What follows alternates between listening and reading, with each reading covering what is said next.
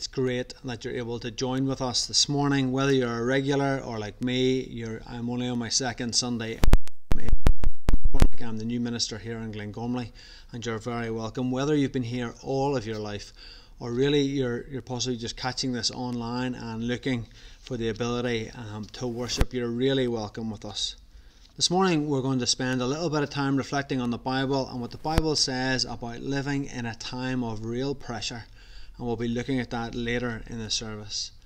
But let me begin it's from Psalm 47.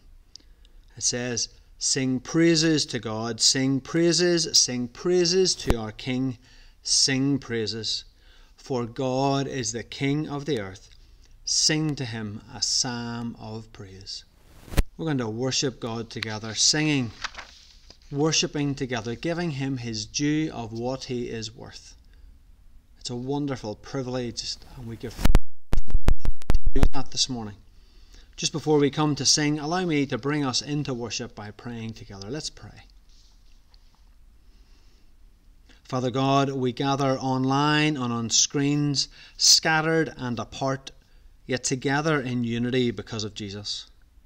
We are part of your family, brought in by the death of Jesus for each of us. We thank you for your plan to bring salvation to each of us even before we were born. You are truly good and truly holy. There is no one else like you. Father, we confess that we are easily turned by the world around us. We confess as we gather that we have not fully followed you this week. And we have accidentally, deliberately, and by not acting, your good and perfect will for us. We ask for your forgiveness and we turn away from what is not from you.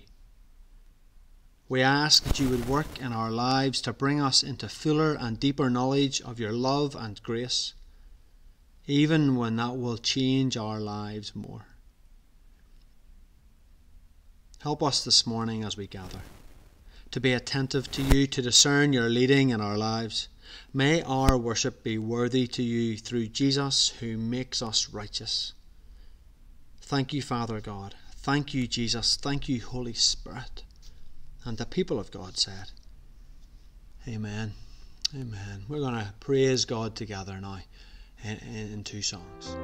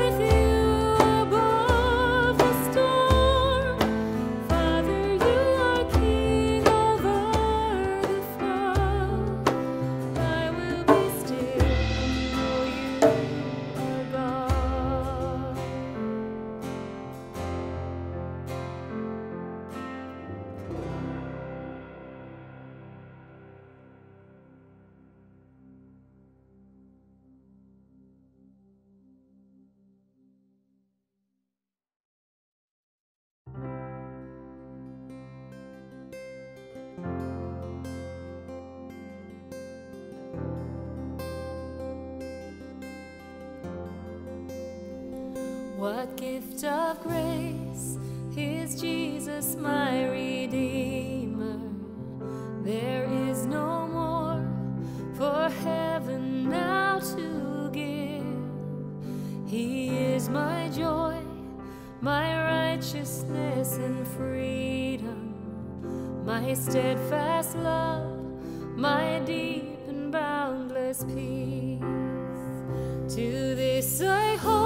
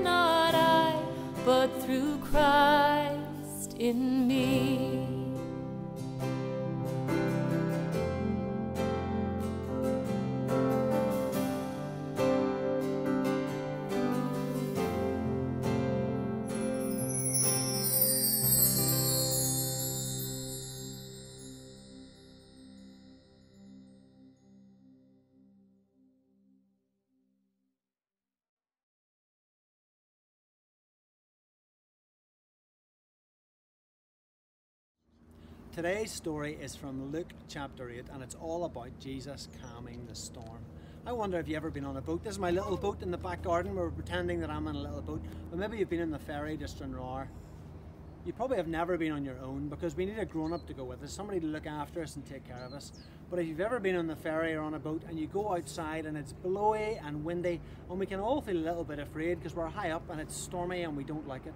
The story today has the disciples and they're on the boat and a storm comes and they get really, really afraid. The disciples were in the boat and there was a huge storm. can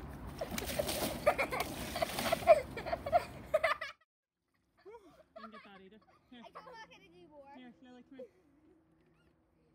Don't do it with The disciples were really, really afraid. They were scared. They thought they were going to drown in the storm.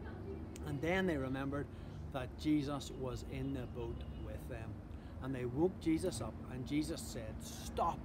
And the whole storm stopped, and the disciples were safe.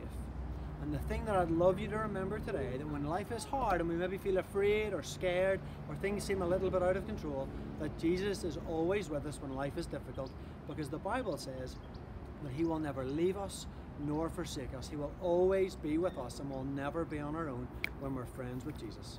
That's the lesson for today. Thank you very much. Today's reading can be taken from Luke 8, verses 22 to 25. Jesus calms the storm. One day Jesus said to his disciples, Let's cross over to the other side of the lake. So they got into a boat and started out. On the way across, Jesus lay down for a nap, and while he was sleeping, the, the wind began to rise.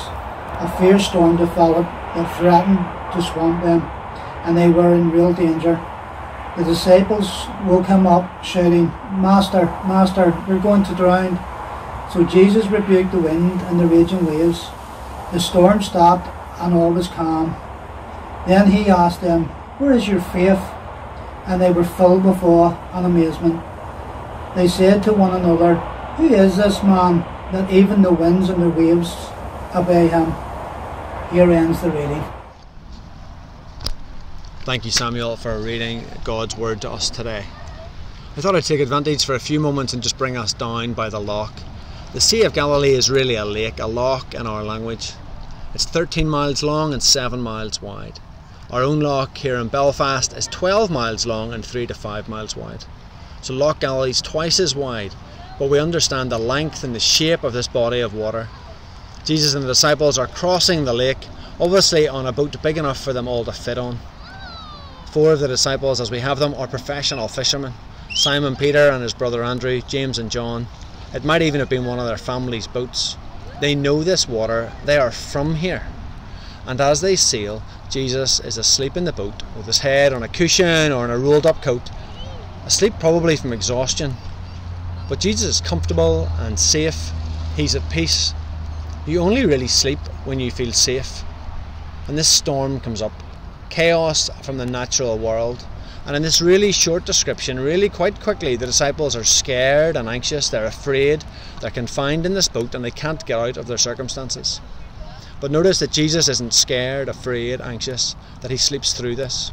He's soundly resting during the fear and the terror that others are experiencing. The disciples think they're going to drown. Eventually, they wake Jesus really to tell him that they're all going to drown. And then we have this incredible sign of Jesus' power. Jesus scolds the wind and the waves, he tells them off. The one who John tells us spoke the universe into existence puts order back into the natural world, and all is calm. Where is your faith? Where is your trust? And in this early stage, we see the response of the disciples Who is this? He commands the wind and the waves. There is no one else like him. I think there are some parallels to the experience of the disciples and our current experience of being in coronavirus. I should tell you this morning this is a passage in the Bible that I come back to regularly in my own life. I think there is deep truth in this little moment as it's recorded. It's only a few verses, I couldn't get much briefer, and yet there is a lot happening here. I think this event in the life of the disciples would have been quite defining. Could you imagine if you were on this boat later in your life, getting together with the people who were there and remembering this? You remember being, imagine being one of the 12 disciples and you gather 10 years later, 20 years later, and you're remembering some of the instances and you remember this moment. You remember the fear and the trauma. You remember the thought that we were, you were all going to die.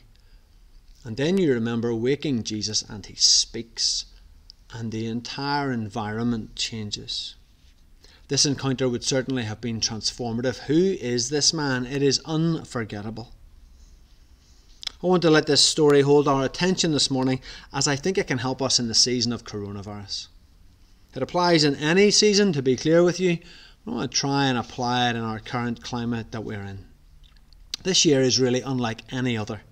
The overused word of 2020 has to be unprecedented. Everything is unprecedented. Nothing like this has happened, certainly in recent memory.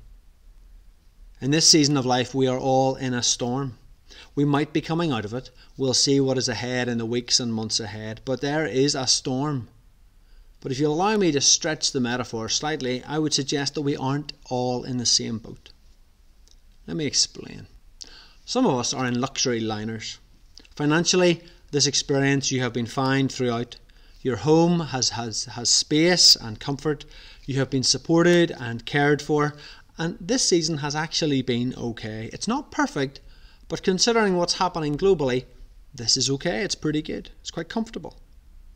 For some of you, your boat is okay, but financially, there's little or no money left. Possibly you haven't been paid in months. Maybe your business or work in this season has evaporated and now simply doesn't exist. It looks fine at the moment, but you're feeling the pressure and the anxiety in your boat of what comes next. Some of you are in big boats with lots of space, but you are desperate to have other people join you. This sense of isolation in this time has been almost unbearable. You're lonely and you're worried about when you can be with people again in a safe way, whether that's your children or grandkids, or whether it's friends and just people. For some people, they're missing hugs and handshakes, cuddles, that sense of human touch and presence. Some people are in small boats with too many people. You're looking forward to everybody going to school and to work and being where they're meant to be. You've seen enough of the people you love and you'd like to let other some other people see them as well. Everybody has a different experience in this. Some of you in this in this last season have worked harder than at any other point in your life.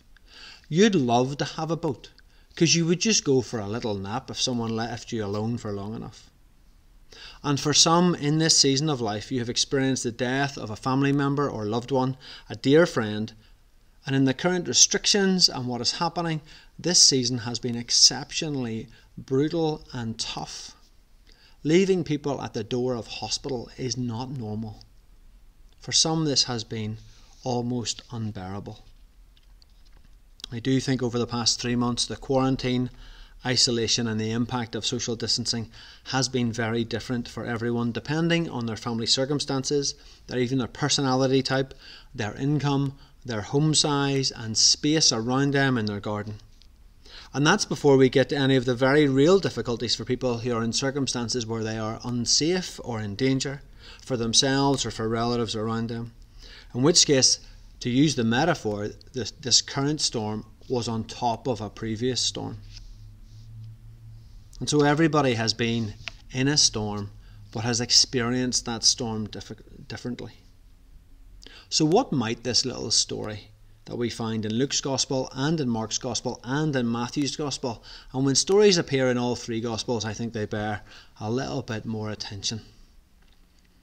I want you to see in Luke's account where Jesus is in the story. I find incredible comfort, and I really hope that you do too, that Jesus is in the boat. Jesus is in the storm. There's a very real danger for followers of Jesus that when life is hard, we might begin to think or begin to doubt that Jesus is with us. We may begin to believe that he is away, that Jesus has left us. But what we see in this little story is that Jesus is in the middle of the storm. Jesus is with his disciples. There is a great truth of life here. In Jesus, we have God coming down to be with us. In a few months, hopefully, we will gather in this space and sing Emmanuel, God is with us. It is in His name that God is with human beings. And we see it clearly in this little story that Jesus is in the boat.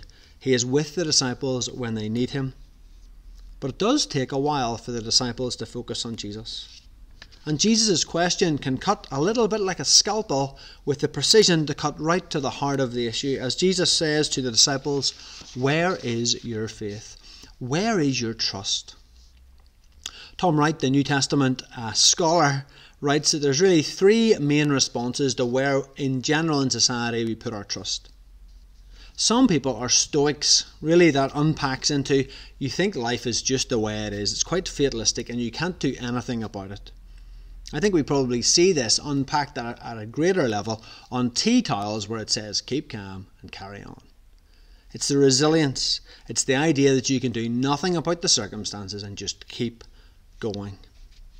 Another way that we might try to get through life is seeing life as being completely random and you can do nothing about that. But the response is slightly different. It's to make yourself as comfortable as you can. This is what we encounter in most of the Western world. The sales of £1 billion extra in one week on groceries as lockdown began. You, will have seen the queues, as have I, for off licences. Sales are up 30%.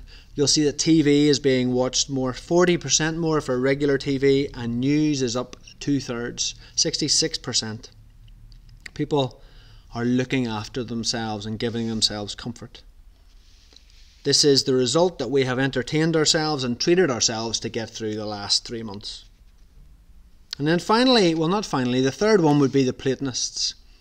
The idea would be that this life is not real life, that there is a better life outside of this and we are destined for somewhere better. Some Christians adopt this mindset, but it's not actually a Christian mindset, it's an idea that all of the action is elsewhere. We're going to be somewhere else, so none of this matters. The fourth response would be maybe you would say that you don't have faith in God or even that there is no God. I would suggest to you that if all we are as human beings is a collection of cells and atoms that will exist in this particular form for a short while and then will reconfigure when we die, if there is no God and no further meaning than the here and now, then logically, people dying to coronavirus actually doesn't matter. If there is no deeper meaning and all we are is cells, then people dying is really unimportant. I actually think very, very few people really believe this. And one of the ways that you see that people don't believe this would be on Thursdays at 8 o'clock. People open their front door, people step out onto their street, they clap, they applaud, they bang saucepans, they've been letting off fireworks and, and um, sounding the horn at the shipyard. Because we clap the NHS and frontline workers, because people are important. People are giving their time and labour and skills and energy, and other people are affected by that, and we cheer that on because human life is precious. People matter. The idea that none of this matters, actually, I'm not sure anybody really believes that because we believe even that we ourselves are precious and those we love and care about. I actually don't think I've ever met anyone who doesn't want to be loved and to love. But it's important to flesh out the idea of where having no faith would take you. I wonder in this season of life, where have you placed your trust? What is it that you've placed your hope in? We see here, and this gives us some comfort this morning, that the disciples had a complete wobble. They were full of fear and anxiety in the face of the natural world. Anxiety is the feeling of dread that things are not going to be okay. The disciples feel anxious because they think the experience on the boat is not going to be okay. They have a boat and they have placed their trust in that, they've taken to sea in that. But it has run out in the face of the storm. They no longer have faith in the boat.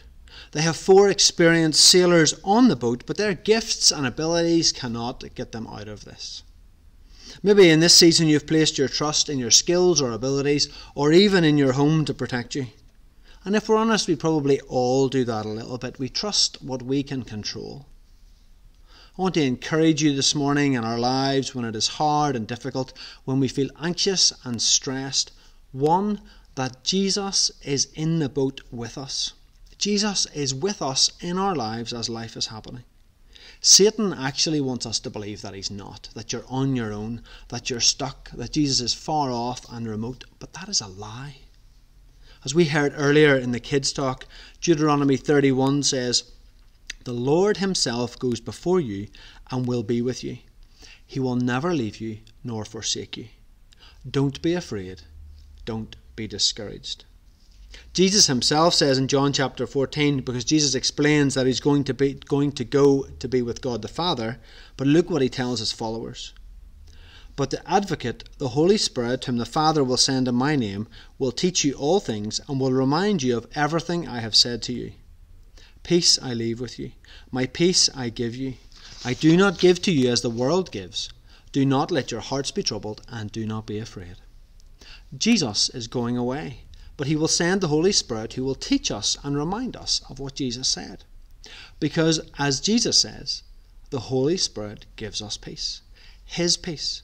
And we will see Jesus' will for his followers that your hearts will not be troubled and that we wouldn't be afraid. I think this is such an encouragement for us today. If we are followers of Jesus, the Holy Spirit will teach us and remind us of what Jesus said. This is where we find truth. Maybe in this period you've paid more attention to the evening news rather than the good news of Jesus. I know that I personally need the deep peace that Jesus speaks of. This harmony and peace of not being troubled, of not being afraid, and I know that you need that too. You can be keep calm and carry on. You can also be this is rubbish, I'm just going to find comfort where I can and give yourself pleasure where you can find it. You can also just wait for another world where life is better and wish this one away. But as we look at this story, as we see the disciples in the boat in the storm, you almost want to shout to them as you read it Speak to Jesus. He is the only one who can meet us in our point of need in the storm, and He is the only one who can still the storm. And the second simple point this morning of how we do that is to put into practice by doing the same thing the disciples did by talking to Jesus. We pray to Jesus, the Jesus who is with us in what is happening. Paul, in, in his letter to the Thessalonian church, says, Rejoice always, pray continually, give thanks in all circumstances, for this is God's will for you in Christ Jesus. In Philippians, Paul again tells a local church, Let your gentleness be evident to all, the Lord is near. Do not be anxious about anything but in every situation, by prayer and petition, with thanksgiving, present your requests to God. And the peace of God, which transcends all understanding, will guard your hearts and your minds in Christ Jesus. When you see this, you do get a pattern. Jesus wants us to pray to Him, and in that prayer to intentionally give thanks, but also bring everything that is happening and as a result of the Holy Spirit's action in our lives, peace begins to move in. We aren't with Jesus day to day like the disciples, but we do have His Word to us. We have more than the disciples even had, as we have the whole Bible. The disciples were writing the Bible as they did this. I would love to encourage you in this season to read your Bible, to pause, to sit down, to set your phone somewhere else because your phone is really designed at this stage to distract you if you have one turn off the TV, and to slowly take some time to read your Bible. If you're out of rhythm and practice of doing that, read one of the Gospels, pray one of the Psalms. Read slowly and simply ask God to show you more of who He is. And just briefly at the end, I'd love to just help you if you're not a Jesus follower this morning. Because this is the key question that Jesus asks Who is he? The disciples are left with that question, which is answered in the rest of Luke's Gospel as it is in Matthew and Mark and John's Gospel. But who is this man? Where is your trust, is what Jesus says.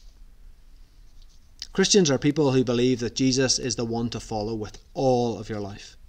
That he was the Son of God who came, he lived in the real world in time and space, he died and was raised from the dead, all so that we could know forgiveness for the wrong we have done and be brought into God's family.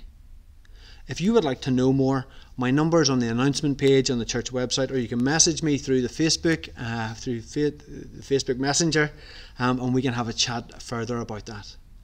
But that is the heart of this. Who do you say Jesus is? And this morning, in a season of struggle and storm, I would love you to know that Jesus is in the circumstances with you. He is in the boat with you. And all we have to do is to call on Him. And as we find at the end of the story, everything is going to be okay.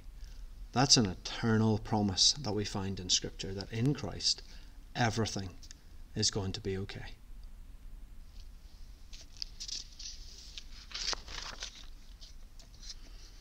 Because we believe God is involved in the circumstances of life, we're going to pray for the world around us and our community. Let's pray together. Heavenly Father, we come to you because you are the God who is active in the world. You are real and true and engaged in each of our lives. Father, we come with gratitude this morning for the medical staff, the nurses, all of the ancillary staff who are involved in healthcare, the supermarket drivers and the farmers, and everybody who is involved in that long chain to get food to our tables. Father, we ask that all of those people who are keeping the essential services of our lives going and thriving in this season, we ask that they would know your care. Most of all, Father, we would ask that those in that chain who don't yet know you in this circumstance would come to know you. Father, we ask that they would know your blessing, your sustenance, that you would give them a good heart in this as they serve the community and the nation. Father, we pray for government, both local and national, as they make decisions that almost certainly are beyond what they can understand at times. Deciding how to act in this season must be so difficult to make decisions that will really impact the lives of the nation. And so, Father, we pray for wisdom for all political parties and all politicians who are involved in making decisions. We pray for the civil servants who are advising and giving um, input into that, that you would enable them to be able to be the wisest possible people who have insight.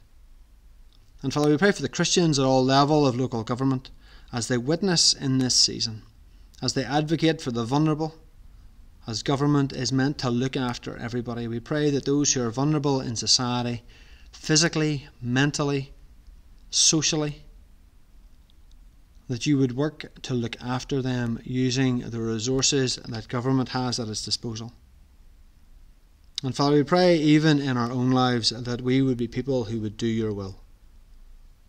You are aware of our family and friends who are struggling, of those in our church family who are anxious, who are afraid, who are struggling with bereavement and grief.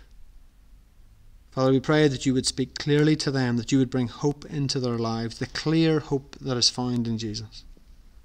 That they would know deep, full wholeness that can only be found in you. But Father, we also pray that you would use us to meet those needs. That we, as your people, would be used by you to do your work. And so we submit to your authority in our prayers, but also in our lives. And we pray all of this in the powerful name of Jesus. And the people of God said, Amen. We're now going to sing our final praise together. Let us worship God.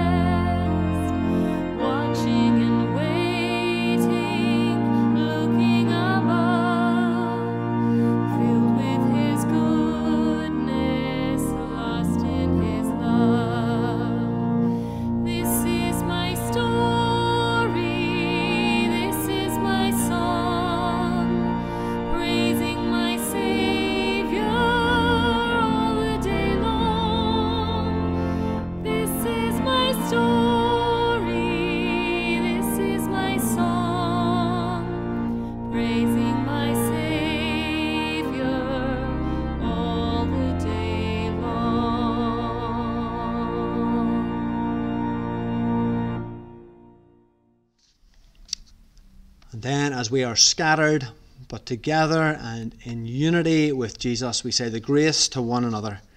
May the grace of our Lord Jesus Christ, the love of God, and fellowship of the Holy Spirit be with us all evermore. Amen.